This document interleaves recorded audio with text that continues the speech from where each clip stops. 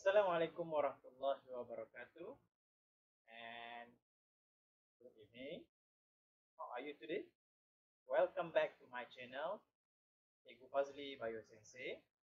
Today you will learn new chapter, new topics in KSSM SPM Biology syllabus. Okay, our topic for today is about joints. Let's learn together. Assalamualaikum warahmatullahi wabarakatuh. Uh, saya Cikgu Fazli Bayu Sensei. Jangan lupa subscribe channel saya.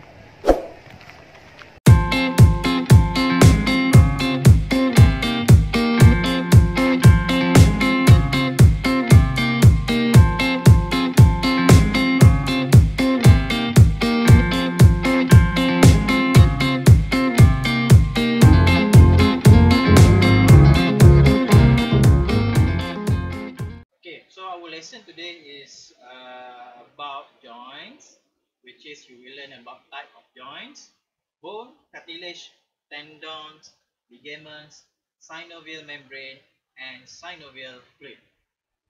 Okay, so our learning standard for today is the first one is to state the types of joint in the human skeletal system, and number two, draw, label, and explain the human forearm hinge joint structure. First of all, what do you know about joints? What are joints? So, joints are points where two or more bones meet or cartilage and bones meet together. That is the meaning of joint. So, how many joints? How many types of joint did you know? So, let's look at this uh, diagram. There are three types of joint. They are immovable joints, slightly movable joints, and freely movable joints. Okay, for immovable joints, the bones are held together by a fibrous connective tissues, which is this type of joint, there are no movement between the bones. Okay, for example, skull and pelvic girdle. Okay, this type of uh, the function of this immovable joint is to protect urogenital organs and also support body. This one is for pelvic girdle, and then for skull, it's to protect delicate tissues of brain and all the sense organ inside the skull. So this is the example of immovable joints. So for hip, uh, so for pelvic girdle, there are three bones joined together, which is the red color is hip bones, and then the yellow color is sacrum, and the blue color is coccyx. So these three bones are cannot move, immovable. And then for our skull, uh, the cranial bones are connected by suture. Okay, so suture is a type of immovable joint. So our uh, skull bones cannot be moved. The other type of joints uh, is partially movable joints. So this type of joint, the bones is bridged by the cartilage at the joint. So this type of joint, uh, the movement is restricted and can be moved in some degree of flexibility. For example, uh, for example, vertebral column, which is the bone between vertebra bones are bridged by cartilage disc. The function of cartilage is as a shock absorber to cushion the joint and reduce friction between the vertebra. So this is the example of partially movable joints which is human vertebra. So each vertebra bone is connected by intervertebral disc. This intervertebral disc is made up of cartilage to reduce friction between two bones and also act as shock absorber. So the third type of joints is freely movable joint. Okay, so this type of joint is uh, the end of the bone there are articulating which is covered by cartilage. Okay, and then this joint is enclosed by joint capsule and it is lined with a thin synovial membrane which secretes synovial fluid. This is the picture of um, freely movable joint which is this this part we call it as capsule which is consists of fibrous tissues that encloses and provides protection to the joint. And then this part is cartilage. This one is cartilage. Okay. So this cartilage is act as cushion and absorb shock reduce friction between bones and protect the bones from wearing out and then synovial membrane the red color is function to secrete synovial fluid to the synovial cavity. And then the function of synovial fluid is act as lubricant to reduce the friction between these two bones. Freely movable joint can be divided into two types which are hinge joint and ball socket joint.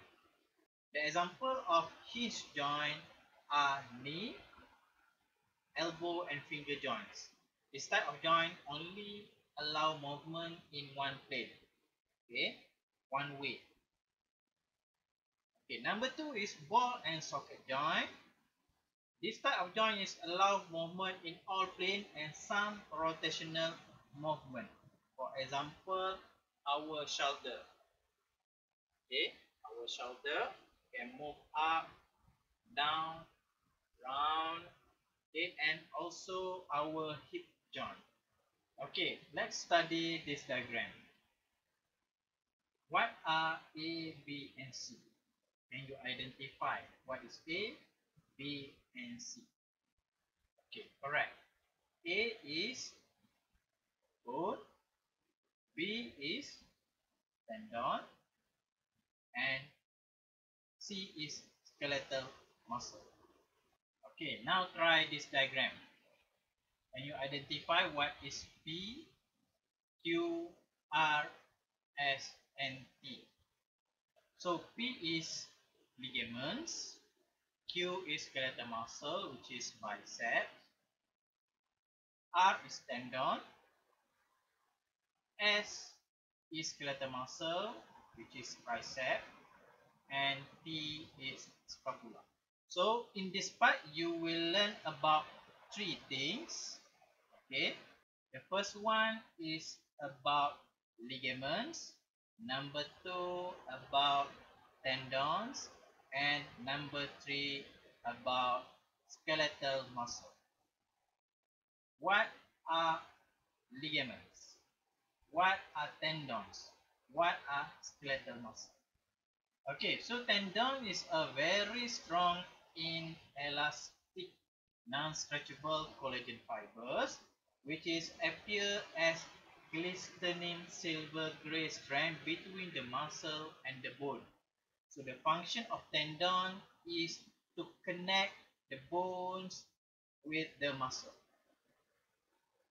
And then its main function is to ensure that the force produced by the contraction of muscle is transmitted to the parts of the body to be moved. So what are ligaments? Ligaments are tough and strong connective tissues and elastic. And then the function is called to connect bone to bone, which is allow the movement of bone at a joint. It's also uh, important in preventing dislocation between the bone at the joint. Okay, so let's make comparison between tendons and ligaments. Okay, let's make a comparison between uh, tendon and ligaments. So the similarities between tendon and ligaments are both uh, tissues are made up of collagen fibers. And then these two type of tissues have similar function which is to hold two type of tissues together. But the difference is tendons connect bone to muscle and ligament connect bone to bone.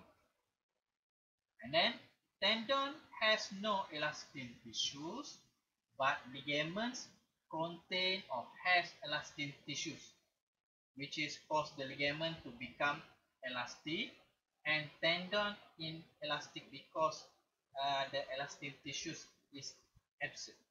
So this is the last part of this uh, video.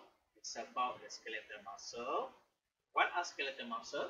Skeletal muscle is comprises of bundle of muscle fibers with a large supply of nerve and blood vessel. So the action of muscle will bring about a movement to the bone. Skeletal muscles are work antagonistic. What is the meaning of antagonistic? Antagonistic muscle means the muscle work in opposition. For example, bicep and tricep. Okay, so one contract and another one will relax. So muscle can contract and relax and muscle also can pull on the bones but cannot push. Okay, so the muscle only have ability to pull the bone but cannot push. Okay, so the muscle that uh, can pull the bone and cause the bone to become straightened, we call it as extensor. And then the muscle that can bend a limbs or the bones, we call it as flexor. When the muscle contract, it cause the limbs become straightened, we call it extensor. And then the muscle that contract and cause the limb to bend, we call it as flexor.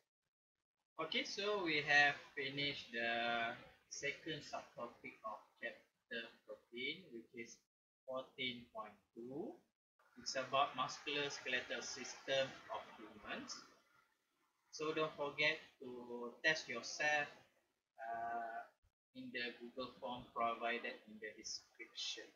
Thank you for watching and just wait for my another videos.